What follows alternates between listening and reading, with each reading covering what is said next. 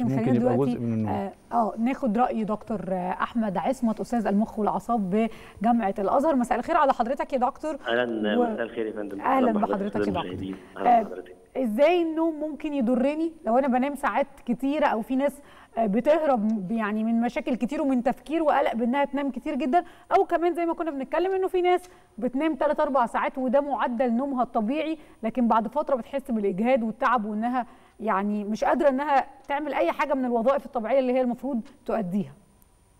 آه، برحب بالدكتور أمجد طبعا آه، استكمالا للكلام اللي هو قاله. آه، هو طبعا إحنا ال- النوم بيمثل في حياة الإنسان 40% وده نسبة كبيرة جدا. عشان كده إحنا الاهتمام بموضوع النوم ومشاكله دي حاجة مهمة. والأمراض اللي بتحصل اللي بتعمل مشاكل في النوم مم. لازم نديها اهتمام كبير شويتين إحنا إزاي نشخص مرض النوم آه، في تقنية حديثة إحنا بنسميها معمل النوم مم. نقدر عن طريقها إن إحنا نسجل الاضطرابات اللي بتحصل خلال فترة النوم كلها وبكده نقدم حل وعلاج طب مم. هل الحل والعلاج ده متعلق بس بأمراض المخ والاعصاب.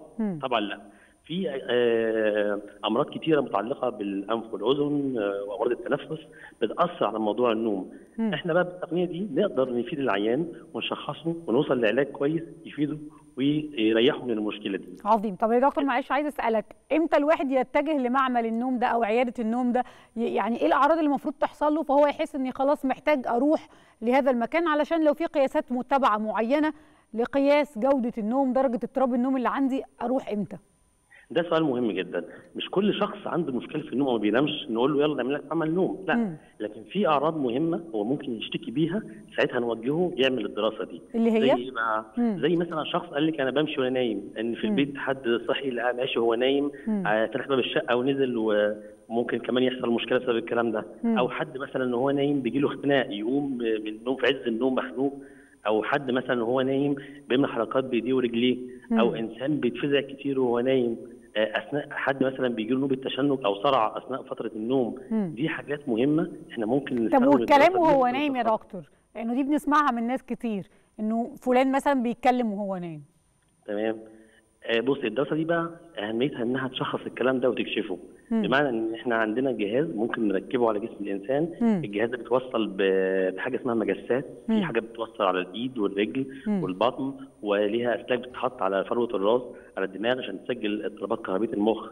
مم. كل ده وكمان مش كده وبس ده إحنا كمان في أجهزة ممكن المريض نفسه ياخدها معاه البيت آه. يعمل الفحص ده وهو نايم بالليل في بيته بس هو الافضل طبعا دلوقتي في مراكز متخصصة وفي أماكن مجهزة مم. يقدر إن هو يعمل الكلام ده فيها ويبقى طول فترة ال- النوم بتاعته. يجي حد يقول لي طب أنا مثلا بشتغل بالليل بالنهار مش بشتغل بالليل مم. ممكن جدا نعمل الدراسة دي طبعا تجهيزات الدراسة دي مهمة وليها طرق معينة بحيث العيان يقدر ينام كويس يعني مثلا بقول له بلاش تشرب شاي وقهوه في الفترة اللي أنت هتنام فيها أو في. نفس اليوم اللي أنت هتعمل فيه الدراسة حاول إن أنت تكون مرتاح في اليوم دوت تبعد عن التدخين في الفترة ديت عشان نقدر نوصل لتشخيص مظبوط عن طريق التقنية دي. وزي ما قلت لحضرتك إحنا بنحلل بقى الدراسة دي بعد ما المريض ينام الفترة اللي هو. اللي هو نامها ديت وسجلناها بالجهاز.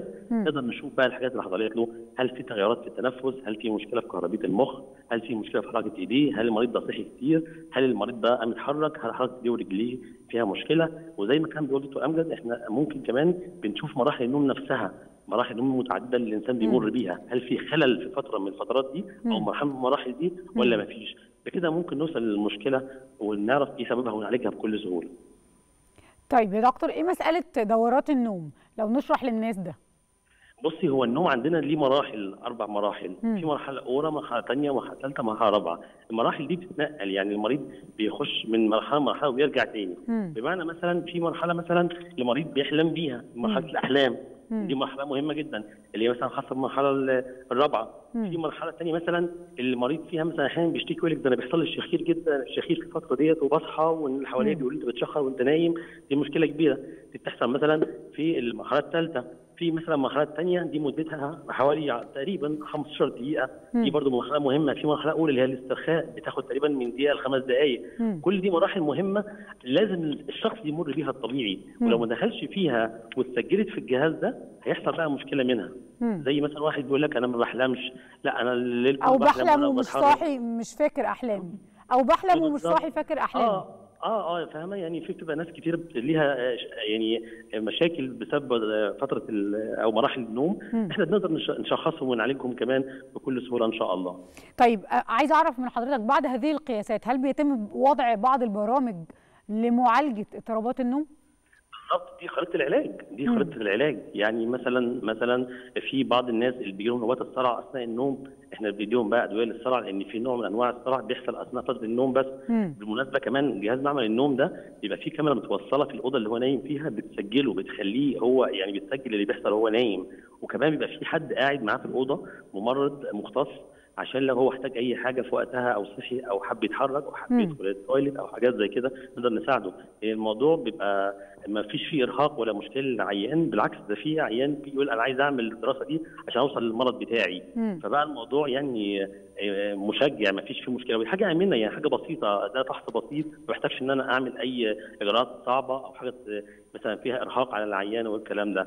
وزي ما قلت لحضرتك في مراكز متخصصة ووحدات في الجامعات. فيها الكلام ده موجود ومتوفر والمرضى بتيجي تعمل الكلام ده وتوصل للتشخيص والعلاج بسهولة. طب هل في فئات عمرية يا دكتور بنتيجة هذه الفحوصات والأبحاث هل في فئات عمرية معرضة لمسألة اضطرابات النوم أكثر من فئات أخرى؟ آه، وظائف معينة مثلا الناس اللي بتشغلها بتعاني من اضطرابات النوم عند الإناث عند الرجال؟ بصي هو الموضوع متفاوت يعني في الحقيقة يعني بس في أطفال كتير بيبقى عندهم مشاكل في النوم في ناس آه، يعني شباب بيبقى عندهم مشكلة في ناس عواجيز بيبقى عندهم مشكلة يعني كل الأعمار دي عرضة للكلام ده مم. طبعا ظروف الحياة والضغوط النفسية اللي الإنسان بيمر بيها بتكون عامل أساسي طبعا ال- ال- المشكلة دي تتفجر يعني وتبقى قدامنا مم. فيعني طبعا ال life style بيبقى بيبقى ليه دور في الموضوع دوت المشاكل النفسية اللي الشخص بيمر بيها المشاكل العضوية الأخرى زي ما قلت لك إن في أمراض ثانية بتصيب ال- الإنسان بتتم المشكلة في موضوع النوم. زي أمراض الجهاز التنفسي وأمراض الأنف والأذن. دي حاجات برضو بتبقى ليها عامل مهم قوي في الموضوع دوت. عظيم. أنا بشكر حضرتك. شكرا جزيلا دكتور أحمد عصمت أستاذ المخ والأعصاب بجامعة الأزهر. شكرا جزيلا يا دكتور.